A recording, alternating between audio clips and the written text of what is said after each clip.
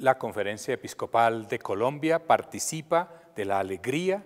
del país, de las familias y de los que fueron liberados en este día por el LN con la participación de la Iglesia, la Cruz Roja y la Defensoría del Pueblo. Estaremos atentos para seguir apoyando todas las acciones humanitarias y confiamos que todos los que están secuestrados puedan regresar a sus casas, a sus trabajos y pueda darse también un paso a iniciar los diálogos para superar los conflictos que todavía